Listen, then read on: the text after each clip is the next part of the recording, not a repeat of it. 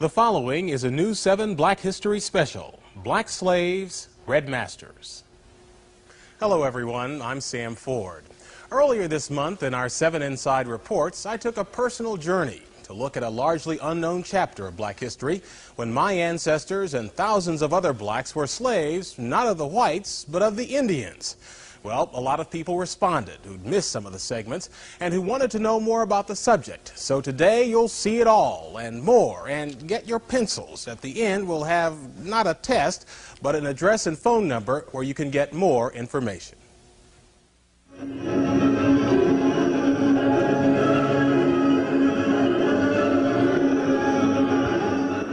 Every summer at Tahlequah, Oklahoma, the Cherokee Indians sponsor their Trail of Tears pageant, the story of how the U.S. government robbed the so-called five civilized tribes of their homelands in the South and moved them by force to Oklahoma.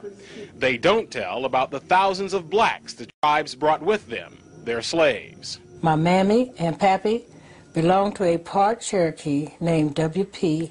Thompson when I was born. The woman reading is my sister, Elaine Ford Staten, but the words are those of our great-grandmother, Phyllis Thompson Pettit, whose Georgia-born parents were brought by the Cherokees over the trail.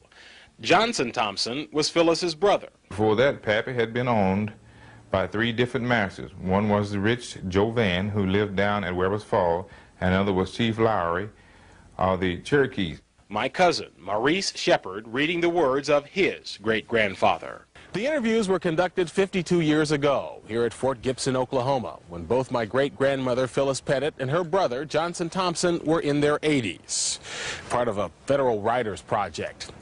Now, both of them are buried in this cemetery. But after I read their words, I was set on a mission to find out how my family became slaves of the Indians. I learned that beginning with the administration of George Washington, it was the policy of the U.S. government to civilize the Indians by teaching them modern farming techniques. To adopt agricultural practices that uh, patterned uh, after the whites, and one of those in the South was slave trade. I don't ever talk about it very much because I think it's a very shameful part of, um, of Cherokee history, and so I've purposely avoided involving myself in that, um, in that whole issue.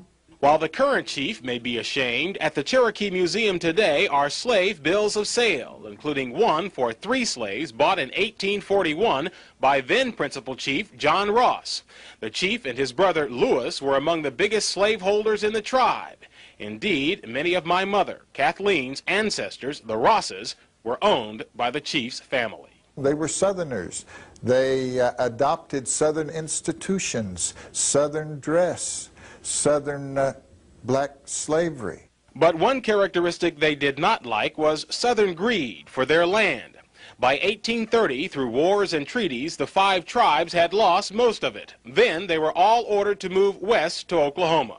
Four of the tribes left, but the Cherokees took their case to the U.S. Supreme Court and won. At least they won the lawsuit. Then the man on the $20 bill stepped in. And President uh, Jackson essentially told the, uh, the uh, Supreme Court, um, uh, you know, you made your ruling in favor of the Cherokees, now, you know, try to enforce it.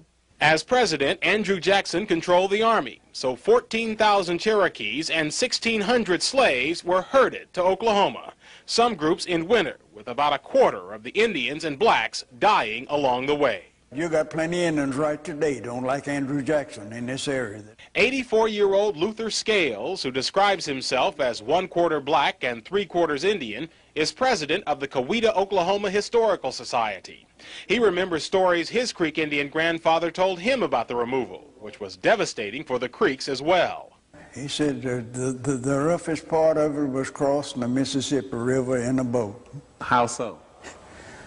Well, man, the Mississippi River, do you know down there in, uh, in Arkansas and, Mississippi, when you, you're talking about a mile across, a mile, mile or so across the river. And then in, and in a boat, as swift as that water running, well, you got problems. Once in Oklahoma, the slaves were put to work, raising cotton, building the new nations. The Murrell home, which still stands outside Tahlequah, Oklahoma, was built by the Cherokees' black slaves.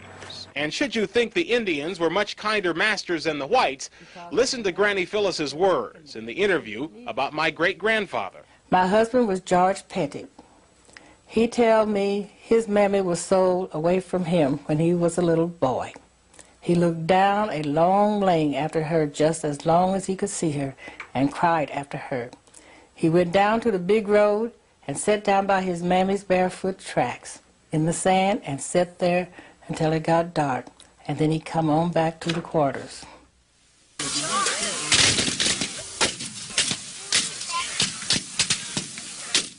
Oklahomans reenacting the Civil War Battle of Honey Springs. When it actually occurred, this was the Creek Nation in Indian Territory, slave territory, in which all of the five civilized tribes had signed treaties supporting the South. And the battle actually looked much like something out of the movie Glory, except it wasn't the 54th Massachusetts, but the 1st Kansas Colored Regiment that saved the day. Because of fear of attacks from nearby Kansas, many Indian slave owners fled south. I can just remember when Master John Harnish took us to Texas. We went in a covered wagon with oxen and camped out all along the way. My sister, Elaine Ford Staton, reading the words of our great-grandmother, Phyllis Pettit, a girl at the time of the war. In ex-slave interviews conducted by federal workers during the Depression, she told how her brother, Johnson Thompson, and her parents were sold from one Cherokee master to another and taken to Texas. And Pappy done the driving of the oxen. I was set in a wagon and listened to him pop his whip and holler. On the square of the old Cherokee capital in Tahlequah, Oklahoma, stands a monument to Cherokee Confederate war dead. But the war here was confusing. While Cherokee Chief John Ross was arrested by the Union Army and shipped to D.C., his mansion was burned to the ground by Cherokee Confederate General Stand Watie, who just didn't like the chief. And while Creek Chief Samuel Checote fought for the South, Opothleyahola another Creek chief, fought for the Unions, his slaves at his side. In any event, when the war was over, the tribes who'd all signed Confederate treaties were in trouble. The United States government informed the five civilized tribes that all previous treaties are null and void. And the first thing to be accomplished is to sign a peace treaty. The new treaties meant the Indians lost more land. And since this wasn't legally considered the United States, Abraham Lincoln's Emancipation Proclamation had not covered Indian slaves so the treaty said they had to be freed. One of the things the federal government required in those treaties was that, that these tribes adopt the blacks as equal members of the tribe, their former slaves. One day, old Master stayed after he ate breakfast, and when us Negroes come in to eat, he said, after today, I ain't your master anymore. You all as free as I am. We just stand and look and don't know what to say about it. The words of her brother, Johnson Thompson, read by his great-grandson, Maurice Shepard. Pappy wanted to go back to his mother when the war was over and the slaves were freed. He made a deal with Dave Mounts, a white man who was moving into the Indian country, to drive for him. Granny Phyllis described a harrowing trip in which they had to fight off wolves with fire from their camp, a wagon journey over land and water that lasted five weeks. When we would come to a river, we would cross boats. But me and brother rode on a bed in the back of the wagon, and when we were crossing a river, father would make us lie down and wouldn't let us look out. He was afraid we would fall out in the river. Finally, they arrived back to Fort Gibson in northeastern Oklahoma, where their father's mother was working as a cook for the U.S. soldiers. My grandma, Phyllis Harnish, was the mother of the Colored Baptist Church on Four Mile Branch, east of Fort Gibson. She organized the church and was head of it as long as she lived. Since the Cherokee tribe owned all the land, as new Cherokee citizens, the family merely picked a spot. After Granny Phyllis Pettit married, her first child was my grandmother, Lutetia, whose third child was my dad, Sammy. Pettits and Fords still own this land today. Our Black History Special will continue in just a moment with more about black slaves, red masters.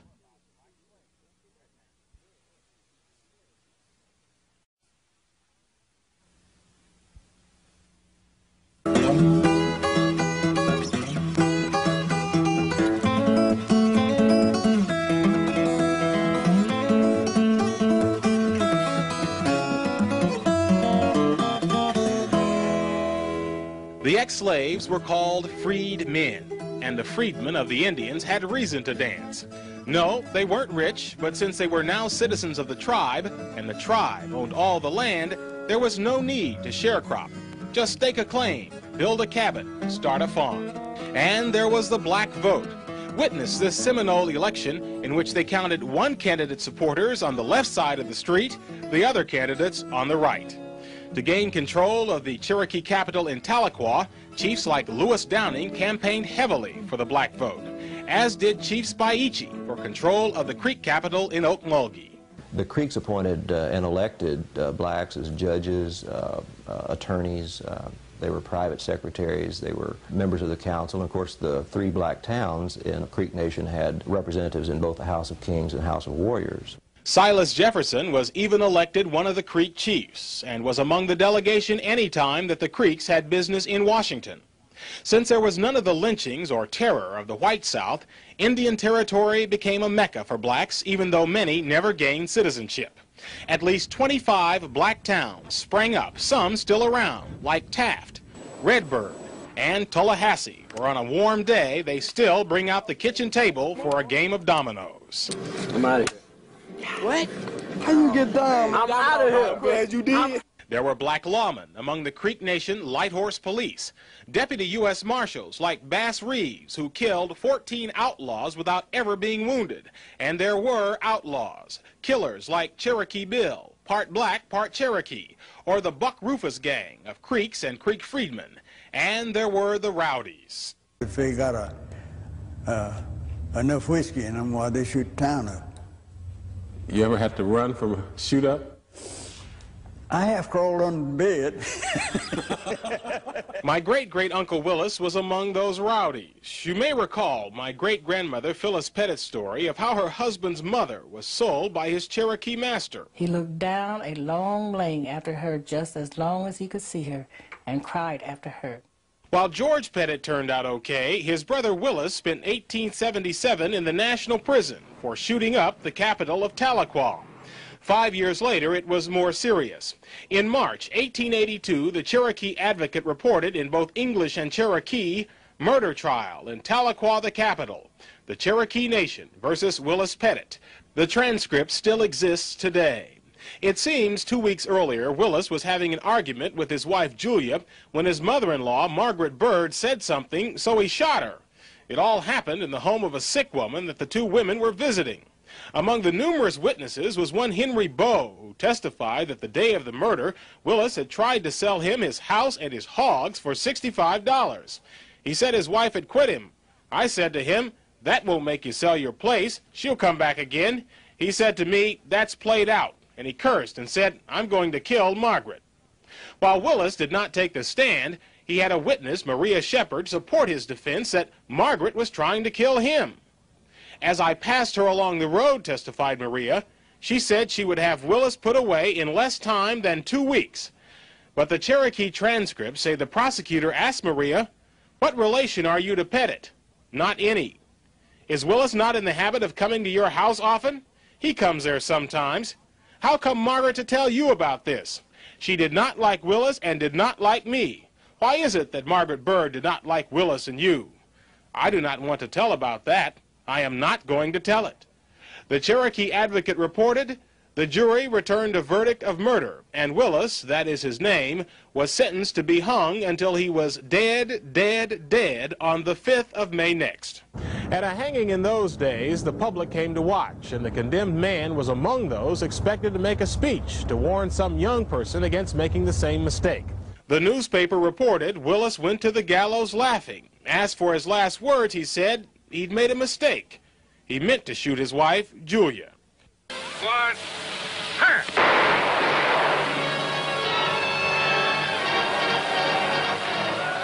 The Oklahoma Land Rush was the beginning of the end for the five Indian republics. 1889, Congress had given to anybody fast enough to grab it much of the land confiscated from the tribes who'd supported the South in the Civil War. Nine years later, Congress made the Indian governments irrelevant by taking title to the land they still held and sending in the Dawes Commission to split it up and allot it as private farms to the individual Indians and freedmen who were members of the tribes. At mass gatherings like this, they were interviewed to determine whether they were legitimate tribal members or squatters. In the Cherokee Nation, folks like my grandmother, Lutetia Ford, had no trouble proving their legitimacy and received deeds to their land. She received 60 acres. My grandpa, John Ford, was a non-citizen but had access to land through Lutetia and their children. The Fords, John's parents, Harry and Zerilda, had migrated from Kentucky in the 1870s, but Zerilda had died, and Harry had remarried a Creek freedman woman, gaining access to land as well. But some of the blacks had no connections, had not married citizens, but had established farms on tribal lands. Now, somebody was about to receive an allotment that included their farms. In the Tallahassee community in the Creek Nation, many of them turned for help to great-grandpa Harry Ford, a Baptist minister, and, says his 85-year-old surviving son Andrew, a prominent farmer. My dad had a big barn, load full of hay, corn. He once had sharecroppers. But he didn't have gas lights, and that proved tragic when he came to Washington, D.C. that day seeking someone in authority to help his neighbors keep their land. The October 19, 1906 Evening Star reported the story. It said he took a cab to a hotel called the Philadelphia House at 348 Pennsylvania Avenue, which is where the National Gallery of Art now is. It said he asked questions around the hotel. Quote, the visitor said he wanted to meet some Baptist ministers in this city as he thought they might assist him to transact some important business in which he was interested. Then he went to bed in a room which had a gas light. My Uncle John Ford picks up the story. Instead of him turning it out, he blew it out, and uh, he became asphyxiated. Then the rumors are that he was really on to something, you know, that was going to benefit blacks, and maybe it was foul play. Somebody killed him. Yes, now that, that was a rumor. The D.C. death certificate said Harry Ford, age 70s, cause of death, asphyxia. He had thousand more dollars when he left home. When he got back, got it back, he didn't have a dime on him nowhere. Naturally wouldn't have. In the cheapest casket they could buy and shipped him back to Oklahoma. As for the blacks Harry was trying to help, they lost out. But all of his and his second wife's descendants received 160 acres of creek land.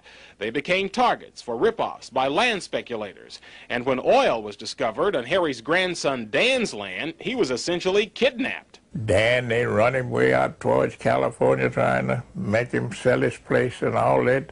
They called them land grafters. Dan was no fool. He refused. Andrew said when oil was discovered on his allotment, he had no problem with land grafters, but later both he and Dan lost their wealth. That's when they got Dan Tucker. The banks went busted and cleaned our ass out. The end of Indian Territory meant the end of an era, of 40 years of tribal citizenship for blacks, the end of centuries of self-rule for the proud tribes, the Choctaws, Chickasaws, Cherokees, Creeks, and Seminoles. The descendants of those black slaves and red masters after this. We now look at the descendants of those black slaves and red masters and what they're doing today. We start at what was great-grandpa Harry Ford's homestead in Creek Country. Home now of the Dean family, the owner Herman Dean, one of about 10 black farmers still left in the area. Another was his brother-in-law, 66-year-old Sherd Parker, the former sheriff of Wagoner County, Oklahoma, still living on the allotment his family received from the Creek tribe. Sherd mainly raises cattle. He says he stayed in farming while others have gotten out because of his dad. He always told us kids, if you take care of the farm, the farm will take care of you. We went to the old Cherokee capital of Tahlequah, where the local bank displays its name in both English and Cherokee. I wanted to hear the language spoken, so my cousin, Maurice Shepard, stopped a buddy on the street. Hello, Phil. Tohija. You all right? ah. His name is Walter Whitekiller, which means one of his ancestors killed a white person. There are also Cherokees named Mankiller, Six Killer, and Ten Killer. We dropped by a meeting of the five civilized tribes and found most tribes have kicked the blacks out. That was uh, one of the things that the Creek people wanted to do was to get it back to where that uh, the uh, Muskogee Creek Indians would have full control. The chief says there were no major complaints, but when the Cherokees did the same thing, 92-year-old Roger Nero filed a lawsuit. And they just uh, re rejected us. Chief Wilma Mankiller says she sympathizes that it was not her decision, but... My job now is to uphold the Constitution. In the federal lawsuit and appeal, the Cherokees won. But among the Seminoles, the historically close relations between black and red have not changed. Uh, we have 12 Indian bands and the two freedmen bands. Lawrence Cudjoe, head of the Bruner Band, says it's because Seminoles and their slaves fought together against the U.S. Army. Our forefathers, they died together. Uh, and, and, and, and, the, and, the, and the, the help that the freedmen gave the, the Seminoles, the Indians, was so, they made a blood treaty that they, as long as the water flows and the, and the oak tree grows, that they would be a part of that nation. They were just that close. Near Muskogee, we met 76-year-old Napoleon Davis, whose grandparents were slaves of the Creeks. He's a retired carpenter who's building this. Well, I'm trying to build a shrine. They call Oklahoma Creek Treatment Shrine. Mm -hmm. Ded dedicated to the memory of the Creek Freedmen. He hopes descendants of Indian slaves will come here to share and record much of the oral history that is so rapidly dying out. We seem like we are people that sit down and wait for other people to write our history, and it's not good. He says he doesn't know if he'll be healthy enough or live long enough to finish his shrine, but he says his three children have promised if he doesn't finish it, they will. Get your pencils ready if you want more information about black slaves, red masters.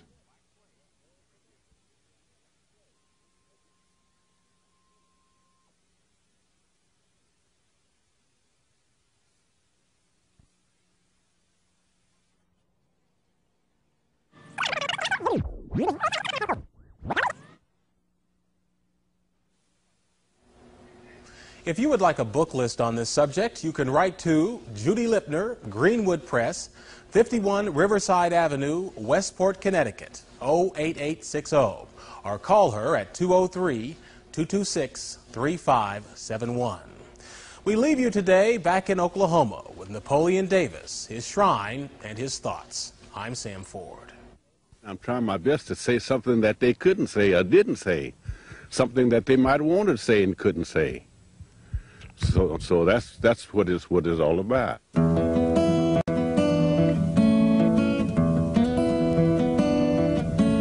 one kind of favor I ask of you. There's one a one